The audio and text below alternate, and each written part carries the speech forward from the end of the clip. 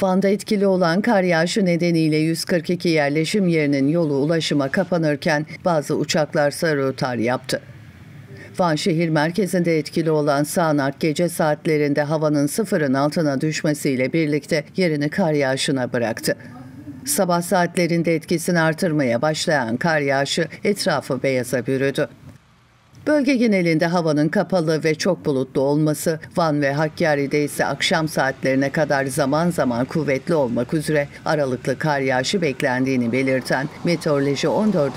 Bölge Müdürlüğü yetkilileri yer yer sis ve pus hadisesi konusunda da uyarılarını yineledi. Yörenin e, kar yağışı bu zamanlarda oluyor genel olarak. Bu sene biraz erken oldu tabii ki. Ama e, kar güzeldir, örtüdür.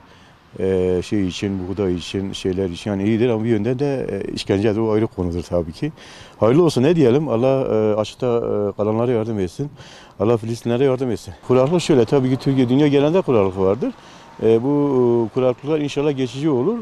Bu faydalı olur. İnşallah bu kuraklıktan e, kurtuluruz. Van'da kar yağışı uçak seferlerini de olumsuz etkiledi. Van'dan Antalya'ya planlanan uçak seferleri olumsuz hava şartları nedeniyle rötarlı gerçekleşti. Karayolları 11. Bölge Müdürlüğü'ne bağlı ekipler de gece saatlerinden itibaren yol temizleme çalışmalarını sürdürüyor.